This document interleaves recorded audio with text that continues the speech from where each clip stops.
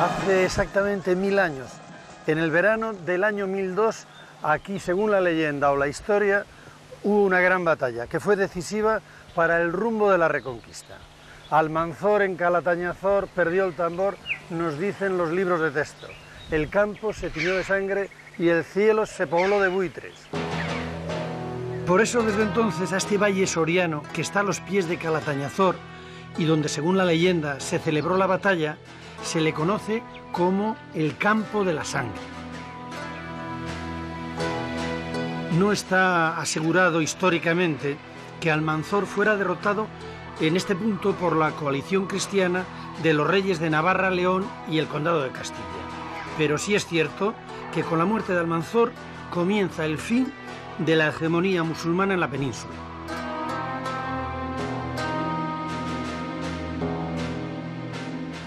Almanzor era un caudillo importante de las tropas árabes que era capaz de hacer la guerra relámpago en aquellos años. Con una caballería rapidísima y con una gran agilidad de movimientos se ponía en, una, en un momento en Santiago de Compostela y fue capaz de llevarse hasta las campanas de Santiago hasta Córdoba. Lo mismo hizo con los tesoros de Barcelona. Era un saqueador, un guerrero nato que sembraba el terror en las filas cristianas y ese fue el verdadero terror del milenio.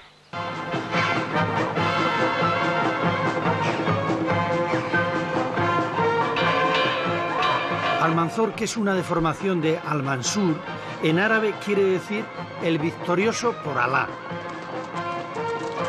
A lo largo de su larga vida, él murió a los 65 años y se cree que de gota y no en esta batalla, llevó a cabo más de 50 campañas victoriosas todas en tierras cristianas. Arrasaba y saqueaba todo lo que se ponía a su alcance y se llevaba el botín y los presos a Córdoba, al califato, y los utilizaba como esclavos en las obras públicas de los musulmanes.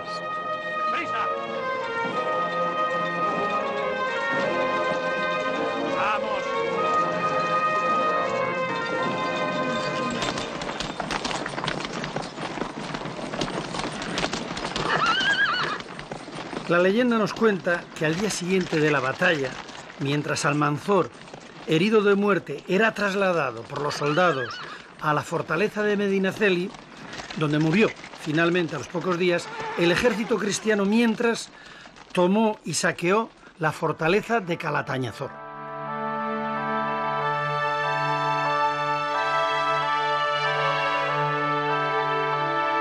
Desde entonces, la villa fue creciendo en prestigio y muchos cristianos se instalaron allí para vivir. Reforzaron las defensas musulmanas que existían y construyeron unas nuevas, y en su interior edificaron una gran villa medieval que aún podemos contemplar.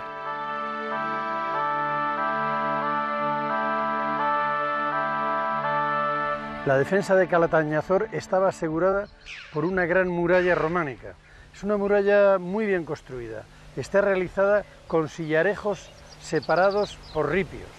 Eh, en la base del castillo se encuentra una de las numerosas ermitas que había extramuros de la ciudad. A partir de este momento, comienzos del siglo XI, los reinos cristianos no dejarán de presionar sobre el territorio andalusí, que cada vez estaba más debilitado por la fragmentación de la unidad del califato de Córdoba en numerosos reinos de taifas.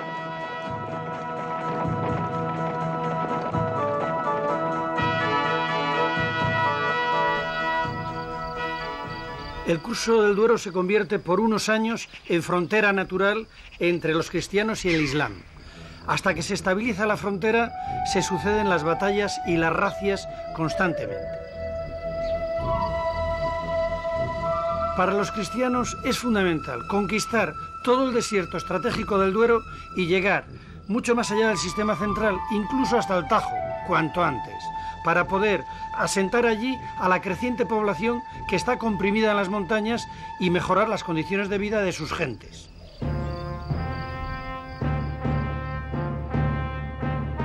Aunque el románico es un arte esencialmente religioso, hay muchas aportaciones del mundo de la guerra a la iconografía románica. Es muy frecuente ver en capiteles románicos soldados ataviados a la usanza de la época, con mallas, escudos y armas.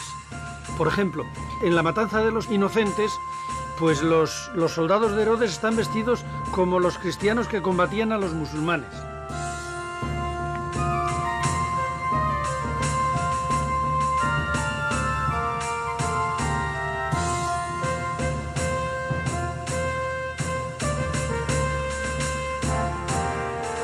En otros casos, podemos admirar solemnes duelos entre caballeros que solían dirimir así sus disputas ligadas al honor.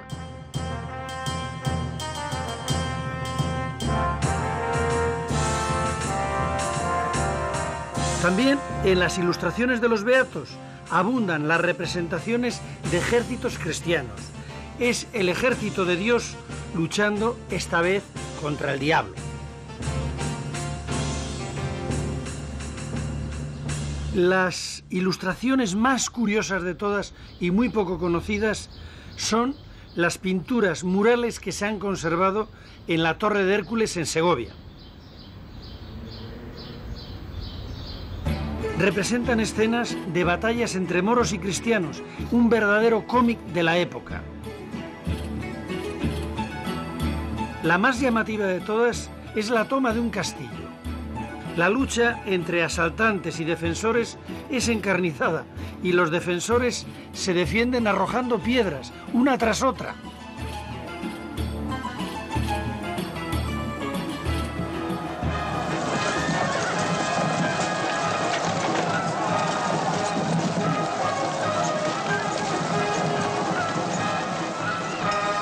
La sociedad del románico está permanentemente en estado de guerra pero no solo por la lucha contra el Islam, contra los musulmanes, que es la principal, sino que también los reinos cristianos están permanentemente guerreando entre sí, pues por herencias o posesiones. La guerra formaba parte de la vida de aquellas gentes tanto como el trabajo en el campo. Por eso no es de extrañar la representación que aparece en el calendario famoso de San Isidoro de León de un caballero que en el mes de mayo se va con su escudo a la guerra.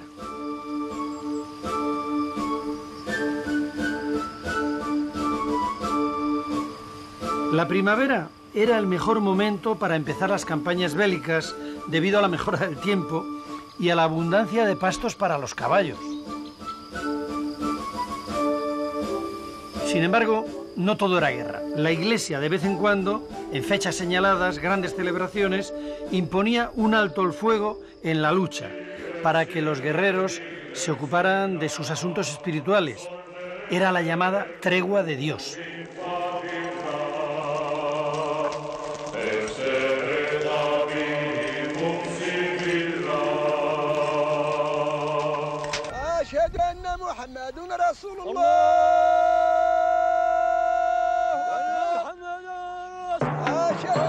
Los musulmanes disponían de un gran despliegue defensivo. Lo habían levantado en la época de máximo esplendor del califato y eran fortificaciones y poblaciones que estaban amuralladas en los puntos estratégicos de la frontera. A través de ellos y a partir de ellos mantenían una presión constante para desalentar las posibles invasiones de los cristianos. Este es el caso de Peñalcázar o de Ágreda, ambos en la provincia de Soria.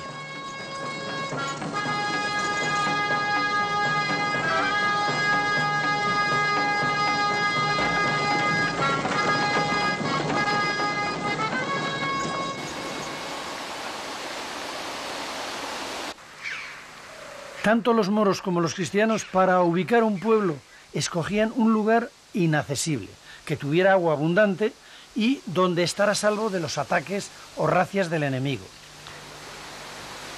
Traemos aquí el ejemplo cristiano de los castellanos en Orbaneja del Castillo que colgaron literalmente el pueblo sobre un barranco del río Ebro.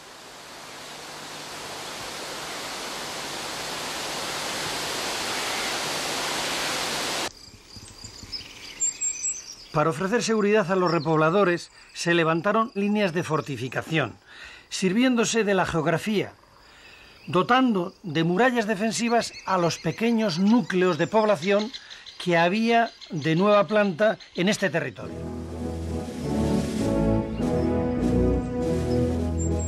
La seguridad de los nuevos pobladores cristianos dependía de la solidez de los lienzos de las murallas.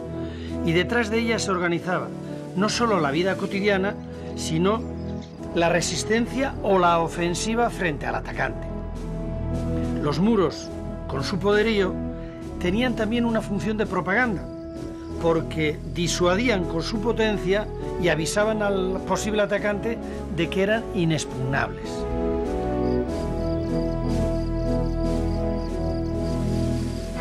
Las villas amuralladas eran en gran medida construcciones militares.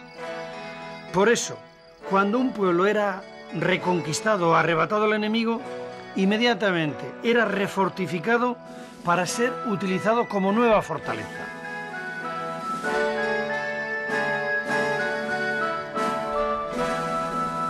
En Soria, junto al Duero está Almazán. Allí tenemos la posibilidad de ver en parte lo que fueron las grandes murallas que tuvo.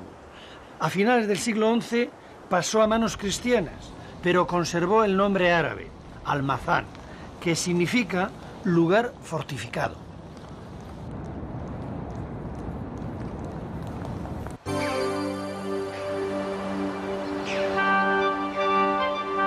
Estas esculturas de cantos rodados son los restos de la muralla cristiana que se levantó en el siglo XII y que protegía el pueblo zamorano de Belver de los Montes. En muchos casos, para la construcción de las defensas se aprovechaban las ruinas de viejas poblaciones romanas o godas, como hicieron aquí en Castro Torace de Zamora, donde se alzó también en el siglo XII una importante ciudad medieval, que era la que controlaba el paso por el río Esla.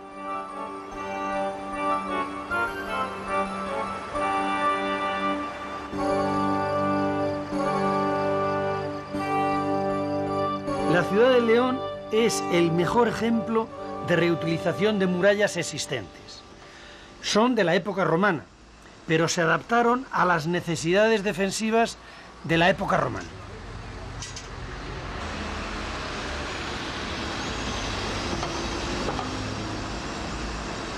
Tienen más de 5 metros de grosor. A esto le añadieron torres de defensa como esta de los Ponce, que fue levantada en el siglo XI sobre esa muralla romana que he citado.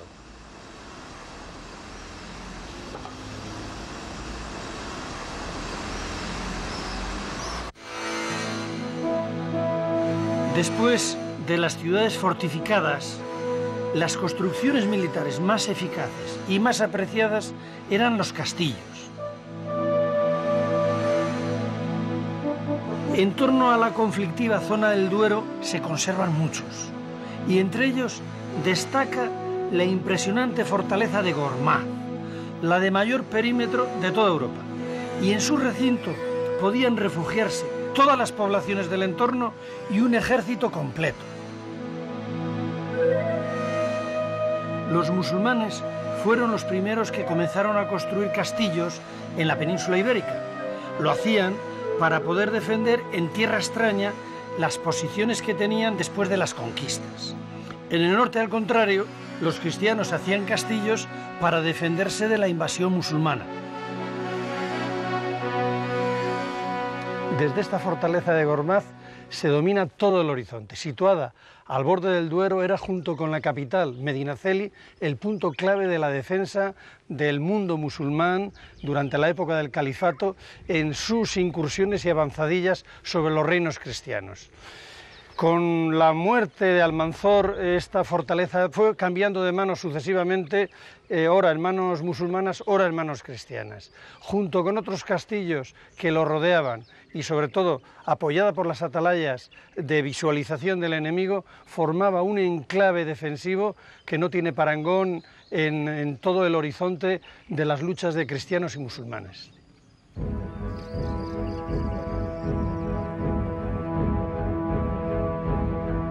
La construcción de castillos responde a razones militares.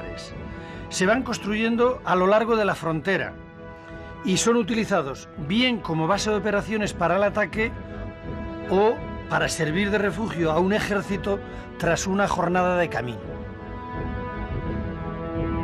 El aspecto exterior de los castillos era siempre imponente. Imponente para los amigos, a los que daba confianza, y disuasivo para los enemigos. Les ayudaba mucho en esto el emplazamiento. Siempre en lugares elevados difícilmente expugnables. Todos estos castillos que estamos viendo pertenecen a Soria y todos acabaron en manos cristianas a lo largo del siglo XI y fueron utilizados a su vez contra los musulmanes, que fueron sus constructores. Así que fueron un arma de doble filo. Se cambiaron las tornas. Así son las cosas de la guerra. La obsesión por la seguridad les llevó a veces a fortificar también los puentes que conducen hasta los castillos o ciudades. Este que ven es el puente de Frías, en la provincia de Burgos. Fue construido para cruzar el Ebro ya en el siglo XIV y servía también para cobrar el pontazgo, que era un tributo que se cobraba por cruzar el puente y acceder a la ciudad.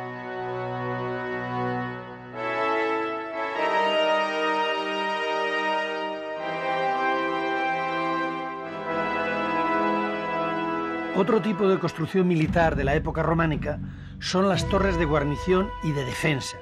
Se conocen como torreones. Son pequeñas fortificaciones cuadradas en forma de torre que servían de puntos de control y apoyo a los castillos y también para cobijar en su interior a unas pocas decenas de personas en caso de racia del enemigo. Por este motivo, situaban la puerta de entrada a unos cuatro metros de altura para evitar que el enemigo la derribara con un ariete.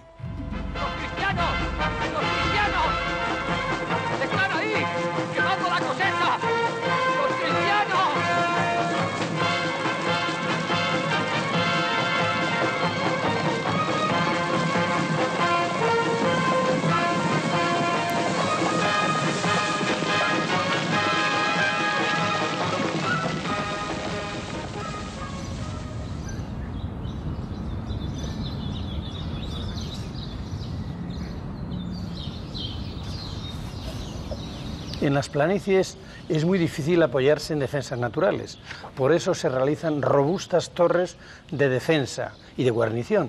En ellas se refugiaban los lugareños cuando eran asediados. Un ejemplo formidable es el de la Torre de Noviercas, que tiene una estructura robustísima de muros de 3 metros de espesor, 25 metros de altura y una base rectangular de unos 9 por 12 metros. Tiene pozo de agua y los muros se realizaron al exterior de mampostería y al interior de tapial y mampuesto.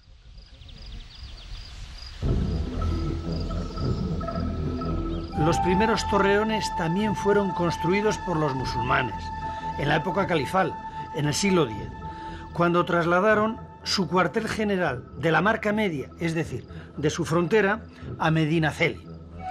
Por esta razón, en el noroeste de Soria quedan tantos ejemplares de estos torreones que han organizado una ruta de los mismos. Cuando los árabes ocupaban rápidamente un territorio tenían que defenderlo con la misma rapidez, para lo cual levantaban las torres a toda velocidad. Para ello utilizaban una sencilla tecnología y muy ingeniosa a base de, tablones de madera formando el encofrado que permitía el muro de tres metros. En las caras ponían piedra suelta, en ambas caras, y en el centro volcaban cubetas de escombros de ripio con cal para poder aguantar el empuje y que la, cal tardaba un tiempo en fraguar, ataban toda la torre con vigas de madera de gran, de gran tamaño.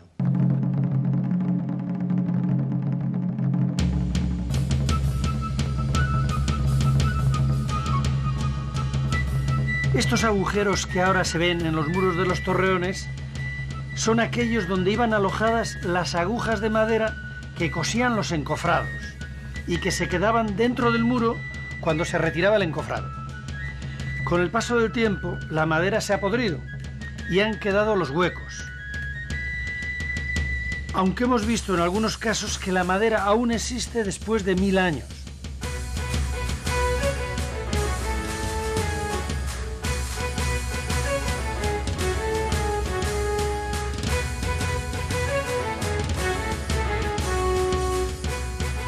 Torreones estaban situados de tal forma a lo largo de un valle que permitía desde un torreón visualizar el siguiente.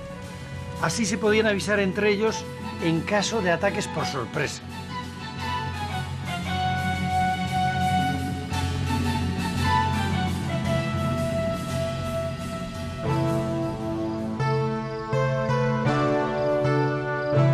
Los cristianos también construyeron sus torreones a semejanza de los musulmanes, pero los construían con sillarejo y mortero de cal. En el norte de Palencia y en Burgos todavía quedan algunos en pie.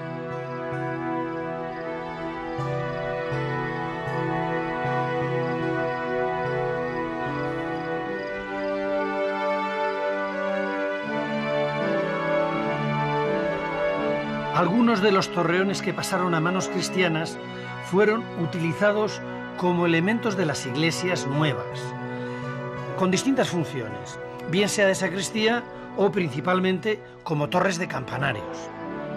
La más llamativa de todas estas es la de Hinojosa del Campo.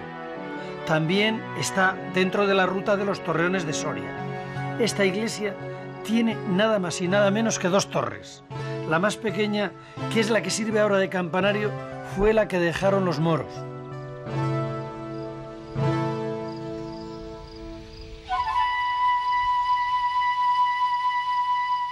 En la zona musulmana, el entramado defensivo de pueblos y castillos se completaba con gran multitud de pequeñas fortificaciones, las atalayas. La misión de estas pequeñas torres era controlar y avisar de cualquier movimiento militar que hubiera en la zona. Eran torres de vigilancia y de comunicación. Un elemento clave en la defensa, también en el ataque, eran las atalayas, que eran unas edificaciones de base circular y tendencia cónica desde las cuales se dominaba totalmente el paisaje. La prueba que estaban muy bien emplazadas es que compiten con ellas ahora las antenas de telefonía. De una a otra atalaya podía haber 3 o 4 kilómetros. Desde esta hasta el castillo de Gormaz hay unos 15 y se visualizan entre las dos perfectamente. También compiten ahora con las atalayas y están situados en su proximidad los vértices geodésicos que señalizan el territorio.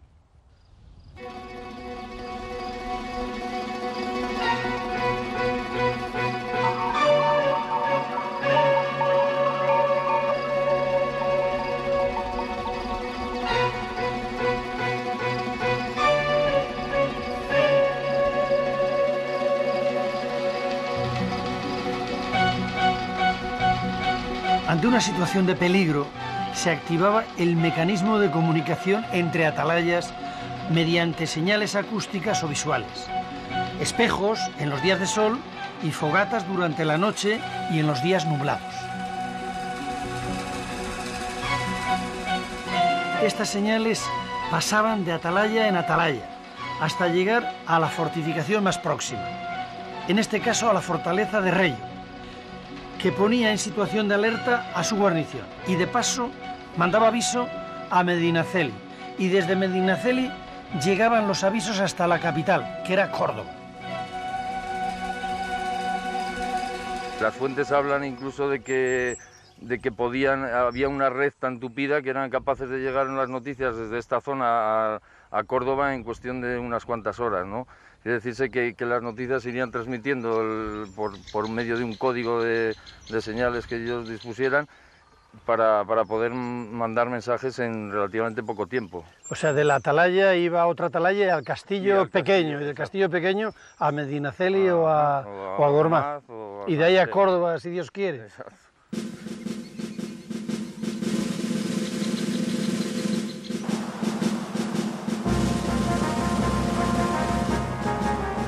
Los cristianos también tenían en su sistema defensivo una construcción muy particular, que eran las iglesias encastilladas.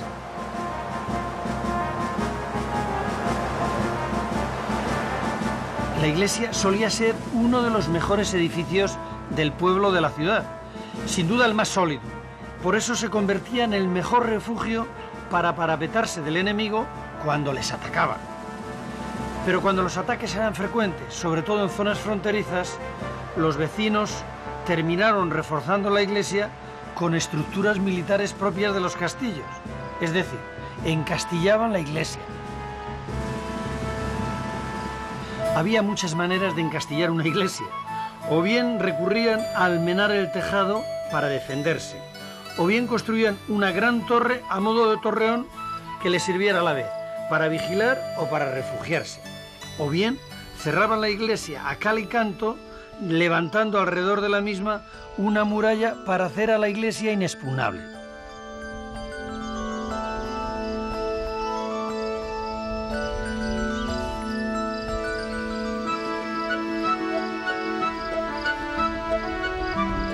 Se han conservado muy pocas iglesias encastilladas, pero en la Edad Media era muy habitual. Era muy habitual que los templos tuvieran un aspecto bélico, porque el hombre del románico acabó haciendo de la fortaleza de la fe un baluarte militar. Ya sabemos que la guerra es la guerra.